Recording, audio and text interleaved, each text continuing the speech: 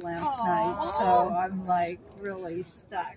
I mean, yeah, I need to. The traveling It's the, mother. it's the traveling. Ms. Badham, I'm Mary Ann McLean. I'm McLean Stevenson's cousin.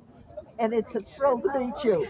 Because I, I loved you as Scout in the movie. Oh, oh uh, thank May I have a photograph? Would you mind? I just Of course. realized here I am without a wig on. Let Don't me worry go get about that because Oh, you look really like you look great. I usually Matt comes with my wig, and I just I'm so used to having this out that I Yeah. don't even think about it. That's her Oh, that's Do you know her. how to do that? Yes, I do. Yeah.